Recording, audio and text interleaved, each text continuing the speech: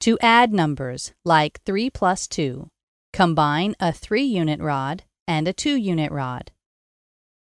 The train has the same length as a 5 unit rod, so 3 plus 2 equals 5.